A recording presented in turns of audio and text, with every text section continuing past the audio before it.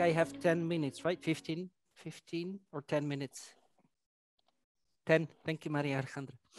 Okay, uh, so no, I think... Not, uh, not 15, you, you have max... We are 10, I just seen, I have 10. So uh, let's use these 10 minutes to make a, a, little bit of a trip into the history of decentralized cooperation. Um, uh, you have a slide in front of you that starts in the 1940s, but actually I would like to go much further back in the history. Uh, I've recently uh, uh, just uh, did a, very small sort of research into the history of intermunicipal cooperation or municipal movements as such, because they lie at the heart of the decentralized cooperation as we know it today. And uh, actually, cities cooperated long time in, in the past for different purposes, different goals. And um, I found an interesting example of the Hanseatic cities in the north of Germany who already in the 13th and 14th century uh, worked together and on an economic and political basis. So this was really maybe for Europe, the first example of, of decentralized cooperation, cooperation of decentralized entity, not big kingdoms, but that cities that defended their own economic potential, their political uh, position, but also, of course, they defended uh, uh, their own position and tried to help each other uh, when necessary and when needed, um, militarily, but also economically. But then we come to the beginning of the 20th century, uh, where municipal movement actually started to to to be to be formed to to exist as as an uh, as an as an idea um, and meetings between different uh, city practitioners occurred already before. They they solved different uh, or discussed different problems. But in the beginning of the 20th century at the general exposition in Ghent in Belgium that was actually the, the, the first time that cities came together and said we need to cooperate because we have similar challenges, uh, and the challenges were linked at the beginning of the century uh, to growing urbanization, and that problem is actually the basis of, of city issues and problems and activities until today. Cities that grow, uh, people that move into cities, the complexity of the environment, uh, of the urban environment, of, of uh, addressing economic issues, social issues, spatial development, um, environment, you know all the different aspects that cities face and that the local governments face. Uh, but then after, specifically after the Second World War, and it says twinning in the 1940s, it was actually after the Second World War uh, that the world had opened up. Even in Europe, we started to, to travel much more, to exchange. So, so actually this was really the period globally to start a great flow of, of ideas of capital of people mobility not only of, of commercial and, and military but also private mobility industrial mobility became to grow and uh, the situation after the second world war especially in europe was really um, let's say, in, in the idea that we need to rebuild Europe together, forget the past and, and speak about common future and, and re, rebuild friendships among nations that, that went through big, two big wars, two global wars in, in the 20th century. So, so this idea was really uh, promoted a lot by CMR, the Council of Municipal, uh, the CEM, the Council of European Municipalities, that which became then the Council of U European Municipalities and Regions, our European organization, European section. Uh, but there's been a lot more going on. So the first city twinnings really were where the, the principle of, of maintaining friendships between nations, friendships between people, uh, to make uh, Europe uh, a more homogeneous and, and, and interconnected uh, continent as such. Uh, and then um, that were, were the origins to, to Western municipalities use twinnings to establish partnerships with local authorities uh, in, in other countries. Um, this was specifically in Western Europe, and this is another maybe of my, of my contributions uh, to this part of the lecture is that the situation evolved specifically in Western Europe in a different way than in the rest of the Europe. So in Western Europe, it was really a lot of um, partnerships that were um, in the process when when former colonies became to be liberated, became uh, or or gained independence from the from um, uh, the former, let's say, large uh, large empires or or large strong countries in Europe, uh, and there arose really also another uh, another angle of of building friendships with people, not only within Europe but across the world. Uh, mm, building friendships between Europe and Africa, Latin America, Asia, uh, all across the world.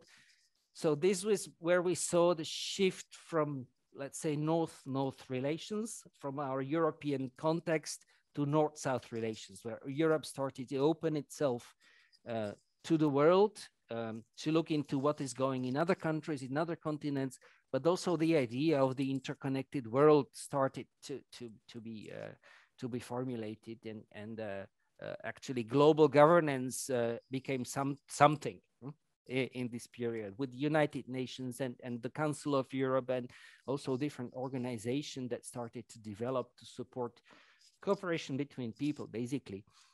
And cities cities at that time still more um, sought to be the part of, of this solution so to be the part of this problem uh, being present and also uh, asserting of course their political presence to be something to be a level of governance but also to be part of, of the wider movements. So in 1980s, that was also the, the uh, era of, of regionalization. The Europe of region was, a, was something that was the idea that was born in the late 70s, early 80s, uh, where regionalization was supposed to be the answer to, uh, to the complexity of the modern world and, and ongoing efforts for decentralization and capacity and uh, competencies at local and regional levels. So this shift uh, was really uh, towards development in the 70s and 80s. That was really the, the point where, where we saw that, that it's not only friendship, it's not only uh, cooperation, it's not only political links and, and uh, let's say political uh, idea, but also seeing that, that these links can be instrumental, instrumental to development, instrumental to, to uh, political discussions in terms of policies, uh, but also in uh, understanding that other partners have something to say at the local level, not only cities, but also uh, multi other stakeholders, citizens. The idea of citizen participation was born in the, let's say, 90s, late 80s, 90s. Uh, the idea of the private sector, which plays a role at the local level in economic development, the understanding that uh, that academics and and uh, uh researchers have something and can help cities to find better solutions. Um, so uh, this kind of shift from from political to multi-stakeholder or multi-technical to capacity building to to building together uh, was really born on in this in this north-south period of, of decentralized cooperation. Uh, and of course, we see uh, the, the big involvement of UCLG, like the working, uh, the CIB working group, the capacity and institutional building. Um, and then later after, after 2008, in 2008, we see Platforma uh, being formed in Europe to actually uh, consolidate uh, develop decentralized development cooperation as a movement, as a way to, to uh, complement official assistance, cooperation assistance, or official development assistance. Um, and um, also the European Commission started to, to discuss a lot closer with, with us as local government stakeholders. Uh, so what would be our role in the overall development strategies? And then um, um, came uh, large global policy frameworks. So, so we started to do global policy in the 90s, in the, in the 1990s, in the 2000s, uh, with different, uh, let's say, policy movements uh, going on, uh, including the Lomé Convention to, for example, to enforce partnerships-based approach, strengthening capacities of institutions and strengthening capacities of delivery, you would see in, in your module, in your reader, Uh, for example, the 1992 Rio conference, which provided global recognition on the role of local regional governments as agents in development. Uh, so these were important steps where local governments uh, actually took a proactive role and, and positioned themselves on the global on the global scale, or let's say on the on the global global scene. Uh, and we see in, in your slide, you also see uh, different countries that slowly started to become emerging actors uh, Brazil, Korea, South Africa, Turkey, China. Uh, so countries uh, that, that realize that their role in the world, they want to obviously, there's always a political angle to consolidate a role in, in let's say, in the, in the global scene, but also to be present in the major movements that exist on, on, on the planet here, also in the municipal movement. Um, and today we have again a new era, a global era of decentralized cooperation, where we create networks, where we work with lots of partners. Uh, we have lots of institutions that support different aspects. Uh, you see UCLG, you see Metropolis, you see global networks, ICLEI, smart cities, um, uh, and different thematic networks that work on specific issues in decentralized cooperation. Uh, and I think the newest era with decentralized cooperation in my last two minutes of this of this very quick summary is probably the era of the Agenda 2030. And that is something that we have uh, started uh, not a long time ago uh, to see how to really take a grasp on global development. Uh, after the, let's say, almost political failure of the Millennium Development Goals, uh, which were maybe rightly criticized of being a top-down approach which ignored the realities on the ground.